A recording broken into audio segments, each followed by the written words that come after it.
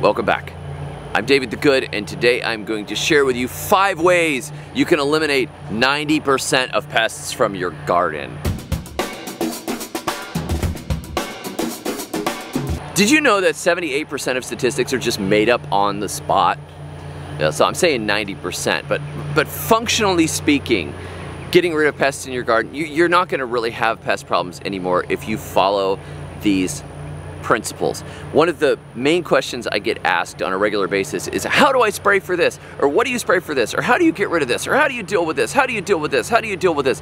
And it's and it's in reference to I've got these beetles chewing this thing or I've got nematodes eating this or I've got this eating this and this eating this and this eating this.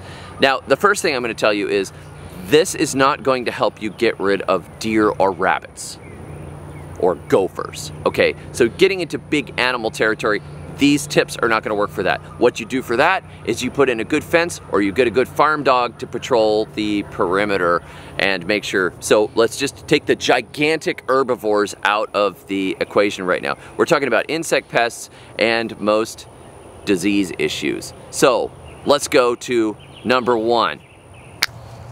Number one, feed the soil.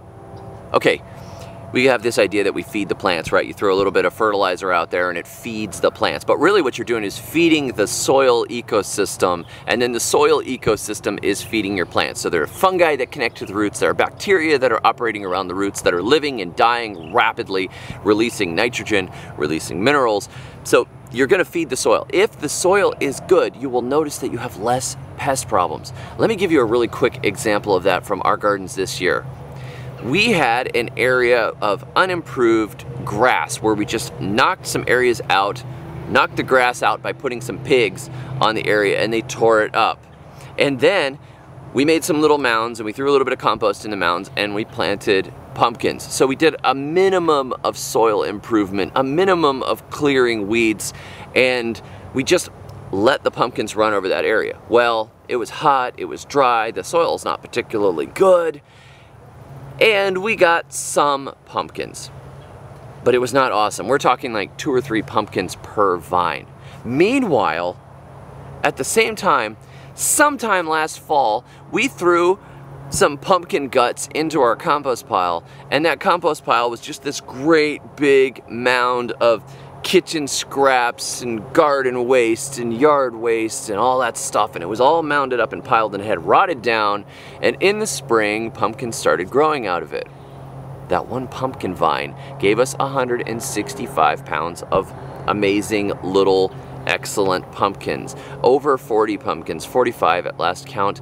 And I noticed that as the weather is cooling off, there's another round of pumpkins still growing out of those same plants. It looks like we're gonna get another 10 or 20 pumpkins out of that vine over there. That is ridiculous. And that's because there was a huge amount of organic matter, there's a huge amount of minerals to pull from. The plant never has stress. Even though we didn't water it, it just kept going and going and going. So compared to the plants that had a, a small amount of help to the ones that have a large amount of help, Pests and diseases attack plants that are already weak. If you are unhealthy, you are more susceptible when you get sick than somebody who is very healthy, very well fed. That's why malnutrition leads to a bunch of other diseases. And that's the same thing in your garden. The pests are not nearly as big a deal for plants that are already thriving, that already have good soil. So the first thing is improve that soil. Get lots of organic matter in there. Get lots of minerals in there. Whatever you need to do, if that means throwing around kelp meal, if that means composting all of your grass clippings and putting it in your garden, if that means making a lasagna garden. If you do not feed the soil well, the plants are unhappy, and that is a first vector of failure. That's where your pests and diseases are going to be a bigger problem. Number two is mix everything up. If you mix everything up, you mix up the pests. Nature strives to correct imbalances. That's the way she was designed. So if you have a big field of corn, everything that eats corn comes in there and starts eating the corn. If you have any kind of a monoculture, generally what will happen is that looks like an imbalance. In a natural system, you have a whole bunch of different species together, and those different species together help balance everything out. So you don't spread a big smorgasbord for corn earworms. Corn, corn, corn, corn, corn, corn, corn. If you look at the way the Native Americans grew corn, they often had corn, they had squash, they had beans, sometimes they had tobacco, sometimes they had bee balm and other herbs, they had other things mixed in. And if you have a forest ecosystem, you see usually very little issues with pests because there's a whole bunch of different things going on. So the the pest that wants to come and eat your tomato has to go through a little bit of corn, a little bit of cabbages, it has to go past the ginger, it's got to go past your currant bushes, whatever. And, and, and, and it's not like, there's so much food here. It's sort of like, where am I? Is there any food around here? It really drops your pest issues significantly to even plant two or three things together. But if you can plant four, five, ten, a hundred things together, like in this big mess here, you know, you can see stuff is fading out from the summer. Things are giving up. Some of these flowers are done. We've got the sweet potatoes growing underneath. We've got cannas, we've got cassava, we've got the gingers that are starting to go to sleep. We've got turmeric back here. We had watermelons growing through here. We have taro, we have rosa rugosa, we have mulberries, we have zinnias, we have lantanas. We've got just a ridiculous group of stuff all growing together. And what happens is, is you don't have the major pest issue that just wipes everything out. And another thing that you have is you have all kinds of food redundancy. If one crop gets attacked, well, shoot, you've got 10 other things growing at the same time. Not that big a deal. So even if you have some losses, it's not that big a deal. It's a much more stable system than if you have a monoculture, and it's much less attractive to pests. Number three, plant what likes your climate. If it is adapted to your climate, it is going to be much happier and it is going to have less issues, significantly less issues. Behind me here, I have yams. This is a tropical root crop. I'm in zone 8B. This is not the tropics, but we have a long, hot, humid season that goes back and forth between being droughty and being piles and piles of rain all at once. And the yams love it. But there are crops from further north that do not love it here. Jerusalem artichokes, so-so. When we were in Tennessee, Jerusalem artichokes were a weed. And I, have talked about comfrey before. Comfrey is a common herb. It's a great nutrient accumulator. It's a wonderful permaculture plant. Here, it often burns to the ground and dies. People will say, don't plant mint where it can take over your gardens. People saw that I had mint in my herb gardens. Don't plant mint where it's gonna take over. It doesn't take over here. As a matter of fact, it's all dead. August killed our mint. 100 degrees, 100 degrees, 100 degrees, 100 degrees. The stuff over it that was shading it started to die out. The mint died, totally toast. So in one place where you have something that's just crazy invasive, super easy to grow, and then you have the you plant the same plant in a different climate, it totally doesn't love it. When we were down in the tropics, we couldn't grow white potatoes, but we could grow breadfruit. We could grow yams. Orange sweet potatoes did so-so. So it, it, uh, it, depends on where you are, what's really gonna grow. And if you grow something that doesn't fit your climate, it's like the pests know and they just come in to eat it. And totally wreck it. So you have to plant what loves your climate, what grows easily in your area. So you figure that out by talking to old gardeners that are on your street. What grows easily for you? What variety of tomato do you grow that grows so well here? What does excellently? What's the simplest thing to grow? You know, in some places people were like, I just got piles and piles and piles of fill in the blank. But I can't grow anything since I moved to Atlanta, right? So the problem is, is you're not growing what grows in that climate. These grow like weeds in our climate and therefore they're one of our main staple crops. We're not trying to grow russet potatoes here because they don't really grow well here. I mean, we did try and they're, they were sad. So what do we grow? Yams, Lots and lots of yams. We grow lots and lots of sweet potatoes. Super easy to grow, adapted to the climate, and the pests mostly leave them alone. They're vigorous and they're well adapted. So you could figure this out yourself by planting a whole ton of different crops and then don't treat them particularly well. The ones that live through and produce for you with a minimum of care, those are your winners. That's how I wrote the book Totally Crazy Easy Florida Gardening. It's a it's been a bestseller on Amazon.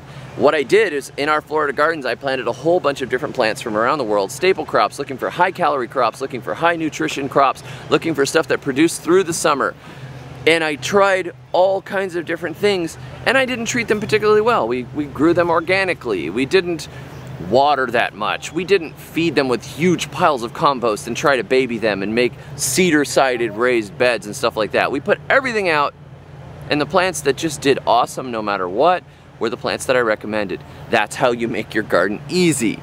You plant the stuff that actually wants to grow in your climate and it's super easy. And this is a concept that really escapes a lot of people. If you can remember that, to plant what really grows easily in your climate. If you can figure out that, that is your main key to having big harvests and less pest issues because a plant is already not stressed because it likes where it is. Number four, stop spraying. Okay, if you spray poisons, you have to play God and you have to continuously spray poisons because there are checks and balances all over nature that you are knocking out. Let me give you a quick example of this. Some years ago, we had a big problem with caterpillars in our garden. We always had caterpillars showing up in the spring, tearing everything up. Then I watched a video by Paul Wheaton where he's interviewing this girl, and this girl's talking about their hedge of gooseberries somewhere up north. The hedge of gooseberries was consistently eaten by caterpillars until one year some, when some paper wasps built a big old nest, like actually hornets, like those northern hornets. We don't have those down here. Great big hornet's nest. And suddenly the caterpillar problems went away. Why? Because hornets eat lots of caterpillars. And I realized wasps eat caterpillars. I'm always looking around my garden and looking at the wasps in my garden and going, what? What? I, I, don't want wasps in my garden. What are they doing? They're just looking at me with their mean little beady eyes. Everywhere I go, there's wasps going, hey. You know, like turning their little heads. I'm like, I don't want that. Get out of my garden. So around the edges of my house, knock the wasp nest down, spray them with poison, get rid of them. 10 years ago, I was knocking the wasps out. I'm not gonna get stung. I don't want any wasps in my garden. They're nasty. There's no possible use for wasps. Then I watched this little video and I thought, what do wasps eat? I guess I always thought they ate nectar or something. No, it turns out they love caterpillars. They eat tons of caterpillars. Then I stopped knocking down the wasp nests around the edges of my property. And another thing I did was I noticed the wasps were always building inside of the mailbox. They would always build inside of the mailbox for some reason. Our poor mailman was always like spraying wasps in the mailbox. Oh, wasps like mailboxes. Perfect. So I got some old mailboxes and I nailed them up on posts around the edge of my garden. I had a friend who had tons and tons and tons of different junk because he just collected tons of junk. And I said, do you have any old mailboxes? And he said, yeah, actually I got like five of them. okay. So I took his old mailboxes and he gave them to me and I just put them up over the gardens. Each one of them filled up with wasps. Guess what? Next year, caterpillars were gone gone. Like caterpillars stopped being a problem. We stopped spraying the wasps, the caterpillars went away. This happens when you have aphids. You have aphids show up in huge amounts. You're like, oh no, the aphids are gonna destroy everything. You spray. Usually there are already ladybug eggs or ladybug larvae in the area at the time that you spray. You spray them, you knock all that out. Now you've just cleared the thing. Well, guess what? The pests breed a lot faster than the predators. So if you knock out the pests, you knock out the predators before the predators can do what the predators do. So if you could tolerate some damage for a period of time, and you already have things mixed up, you already have good soil, often what happens is the predators move in and they clear it out. Stop spraying. Stop spraying. You actually need a certain amount of pests in your garden because that keeps the predators fed. A little bit of pest damage, the occasional hole in a leaf, doesn't matter. It doesn't matter if you lose some of your crops to that because you're not having to play God. You're not having to go and spray. And of course, you don't want to poison yourself anyways. So stop spraying. If you have to spray all the time, that is an ecosystem problem. And you're perpetuating it. You're just clearing out the ecosystem of everything that could possibly put checks and balances on the pests. And the pests come back faster than the predators. So stop spraying and leave lots of habitat. Habitat. Wait, that's number five. So you stop spraying and you put up some mailboxes or something for the wasps. That's cool. That's the beginning of it. One of the things that I've really noticed as well is if you clean your garden up so it looks really perfect, I know that you want to do this. You clean your garden up so it looks really perfect. It doesn't look like this big jungle mess that we created. You know, this garden has only been here for just about one year and it already looks like an insane jungle. And this is on purpose. I have so many different species in here, which all provide habitat for different things. But beyond that, we have a mixture of annuals and perennials together, and this is important because your perennial plants provide cover for predator insects and beneficials during the season when everything is freezing down and disappearing. And the various debris, you know, the, the mulch on the ground and dead sunflower stems and things like that. These are places for ladybugs to overwinter and beneficial wasps and spiders and all kinds of other things, they will live in this. So if you clean everything up and you strip it all bare and you just have this empty ecosystem, you have an empty ecosystem. And remember, the pests breed faster than the predators. You want places for all those predators to live. You want banks of life. Even just having hedgerows. The English used to have hedgerows all over the place. There still are hedgerows there. But many people in modern times have tried to utilize every single bit of space to grow big monocultures of crops. And so they eliminate the hedgerow. Well, the hedgerow is where the birds live. The hedgerow is where your pollinators live. That's where your wasps and your bees and your spiders and your frogs and your lizards and all these good guys live over there and they help balance the pests. Even if you're growing a monoculture next to it, the benefit of having that vibrant living ecosystem with all of those perennials, all of those fallen leaves, all of those hollow sticks, those dead trees, all of that is space for life to live, to come and balance out your garden. That is a repository of life. And that's not even counting all the fungi and bacteria around the roots that are living and colonizing and building and doing things beneath the soil that we don't even begin to understand. So when I have a mulberry growing over sweet potatoes with some zinnias because I like them, next to some sugarcane, next to some Everglades tomatoes, next to a peach tree, next to some tobacco, it's complicated. There's a lot of space in here for life. And there are weeds that I want to knock out of here and and get rid of because I don't like them. But even the weeds are harboring some life. Even if you left bands of weeds around the edges of your garden, it's going to be a seeding issue, but it's also going to be a place for lots of life to live. So if you've got some Queen Anne's lace and you're not saving carrot seed, nah, just leave the Queen Anne's lace. I leave the dandelions. I love the dandelions. They can seed themselves in my garden. I don't care. Got some wild onions in here. I don't care. All of these things are different places for different plants to live. So you get people talking about companion planting and how this loves this and this loves this and this loves this. I don't get serious about that. I think it works because if you just throw a whole ton of stuff together, you get many different checks and balances. You get both habitat, plus you have confusing smells, and you have less than a smorgasbord. You have this plant that loves, you know, that has this bug that is attracted to it, but that bug also has predators that live over here on this plant. is great. So the more you mix it up, the better. Let the companions figure themselves out. Just plant everything together and you will get a ton of food. There is a ton of food still in the ground here, even though we haven't regularly irrigated, we haven't regularly weeded. We haven't come through here and thrown 10, 10, 10, and we haven't sprayed anything. Full of life, full of checks and balances, and if something is weak, we let it die. Because there are plenty of other things that can take its place. So don't get too precious over each individual plant. Just let it die. Let it die. It doesn't matter. Plant something else. That plant maybe wasn't supposed to be where it is. So I hope that those tips are just kind of a quick overview of five ways you can eliminate pests from your garden.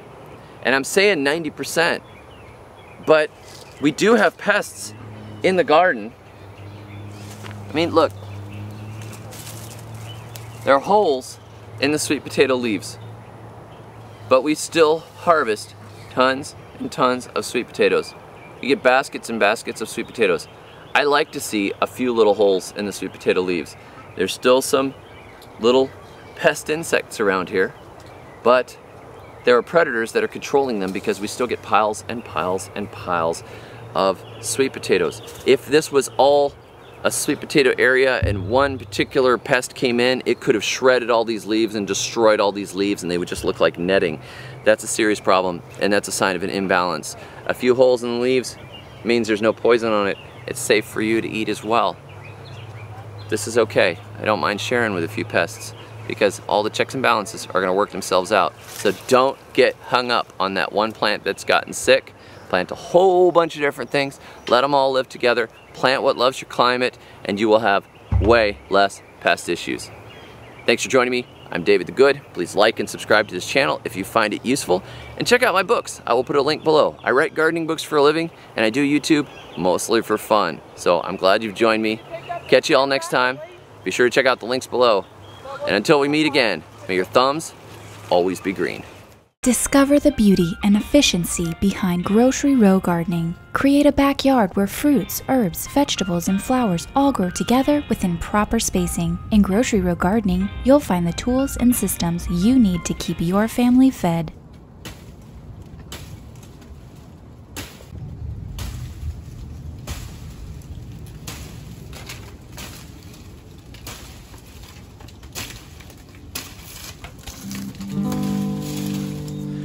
Buried my rabbit neath the cherry tree.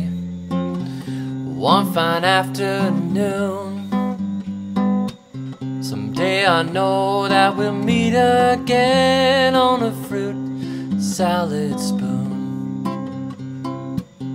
Laid my hamster to rest last night Beneath the pumpkin vine Someday I know that we'll meet again in a Thanksgiving